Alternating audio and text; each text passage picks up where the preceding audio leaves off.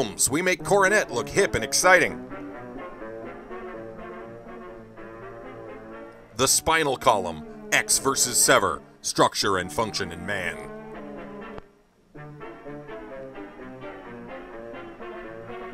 Danny Elfman's been phoning it in lately.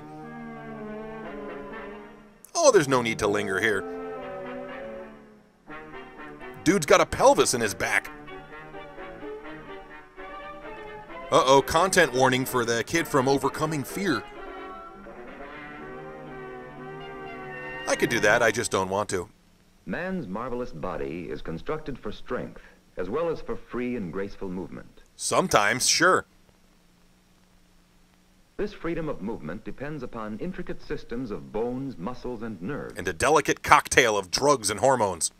This film is primarily concerned with one part of the bony framework of the body, the spinal or vertebral column. Welcome to Spirit Halloween, This is the spinal column, consisting of 33 bones. with a free pelvis as our gift to you. The upper part of the spinal column is joined to the base of the skull. It is joined in a way that gives firm but flexible support. Not available in Ted Cruz. In this unusual X-ray photograph, you can see these parts of the body in action. It's rather unsettling. Lower down, the bones of the spinal column serve as the rear supports for the ribs and their attachments. Together with the ribs, this column also helps to support the shoulder girdle. Shoulder girdle. At its base, the spinal column is firmly connected with the bones of the pelvis. This supports the upper parts of the body and forms the upper connections of the lower limbs. A very important function of the spinal column as a whole is to provide a well-protected path for the spinal cord. I hate escort missions. This cord is the extension of the central nervous system from the brain. While the average spinal canal is about 27 inches long, But who's counting really? the spinal cord averages only about 17 or 18 inches. A pair of spinal nerves appear between each vertebral arch. These become inflamed and aggravated the moment you turn 40. The fully developed spinal column usually consists of 33 bones. Each of these bones is called a vertebra. Cool story, vertebra. Bruh. This shows how the assembled spine is positioned in the body. Neat. This is the spinal column in a reclining position. Ah. Note the location of the pelvis, or hip bone. Oh, that's okay. There are four major curvatures in the spinal column. There is a convex or forward curvature in the cervical region, At your cervix. And another in the lumbar region. Oh, they have the best apple butter There there. is a concave or backward curvature in the thoracic region, Thoracic Park. and another in the sacrococcygeal region. The less said about that one, the better.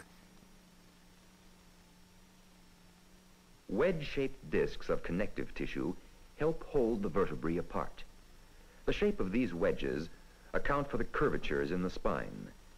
The wedge-shaped discs of cartilage and the curvatures give elasticity to a person's movements and help absorb shocks. Henry, I'm leaving you. Openings between the base of the arches of the vertebrae provide entrances and exits for the nerves of the spinal cord and for the associated blood vessels. Wow, they thought of everything. From most vertebrae project small extensions of bone, which form joints with similar extensions of the vertebrae above and below it. Uh, there are too many specialized Lego pieces these days. When I was a kid, it was just bricks. Other more prominent extensions extend backward and to the sides to form spines to which muscles and ligaments are attached. Use only genuine spinal replacement parts. These form joints which aid movements of the trunk and prevent the individual vertebra from slipping forward or backward. This is all amazing, but I still can't reach my remote. There are differences as well as similarities among the different vertebrae. For example, the first two cervical vertebrae are unlike any of the others. They're made out of rubber and smell like vanilla. This one is called the Atlas because it supports the head, as the mythological Atlas was thought to support the world on his shoulders. Hey, stop trying to teach me extra things. It lacks body and spine and has two large surfaces on which the skull can rock. Are your skulls ready to This rock? X-ray picture shows the action. Uh, you showed this earlier, and I believe I called it unsettling. Yep. The second vertebra is called the axis. It has a bony part that serves as a pivot of rotation for the atlas on the axis. The atlas on the axis provides access to the abscess. The remaining cervical vertebrae are quite similar, except for the long spine of the seventh vertebra. I don't know. Number six ain't doing so bad either. The position of this vertebra may be easily seen when the head is bent forward. Submit. Taken together, these seven cervical vertebrae in the spinal column help provide freedom of movement for the head and to cushion the head from shock.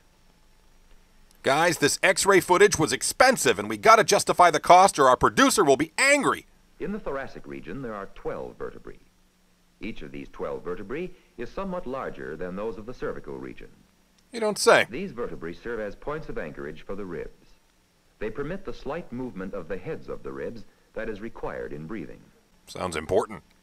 We remove the rib cage to show the location of the kidneys, Those are potatoes, stomach, aka the tummy. liver, This is making me hungry.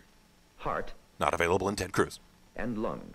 Singular? This is how the ribs form a protective housing for them. And with the five lumbar vertebrae, these bony structures form a partial protection for much of the intestinal tract. Ooh, zombie Lunchables. The lumbar vertebrae are larger and stronger than those above. Being lower, they are subjected to greater weight bearing and strain. They look like marshmallows in the middle of mutating.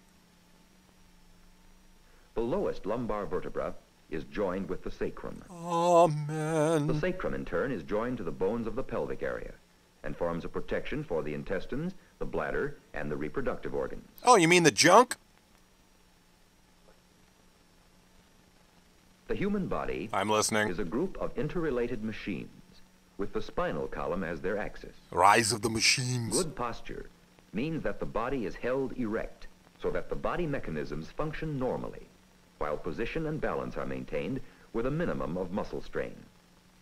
Under these conditions, none of the curves of the spinal column is exaggerated. Well, why not? That's no fun. Slender and rapidly growing children often have postural trouble. Feel you, buddy. Two procedures may help remedy this condition. One is the use of food such as milk, which helps build stronger bones and muscles. Citation needed. The other is to make certain one gets plenty of rest. That's your procedures? Bad body mechanics may be the result of stooping to avoid calling attention to excessive height.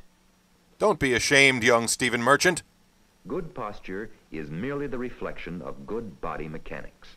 And good body mechanics depend in large measure upon the intricately built axis of body movement, the spinal column. Ask your doctor if the spinal column is right for you. Side effects include back pain, muscle aches, and eventual death. The spinal column is the axis of the human structure. It makes possible the body's wonderful freedom of movement and helps to give us flexibility and strength. Not available in Ted Cruz. Ooh, pray that your spine is never as warped as this soundtrack. Thank you so much for watching Fun with Shorts. This series is supported by Patreon and patrons like these wonderful people right here. They get early access to new episodes and exclusive episodes every month.